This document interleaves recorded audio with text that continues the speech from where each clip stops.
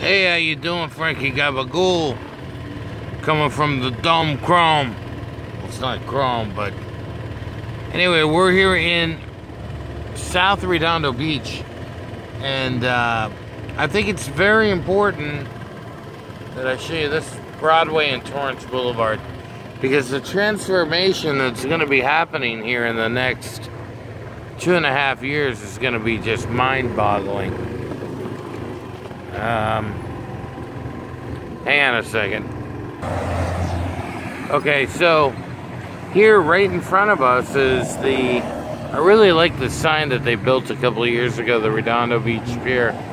But they, back in the 60s, you used to be able to drive down here. There was another road to the right, and they're thinking about opening up a new road to the right.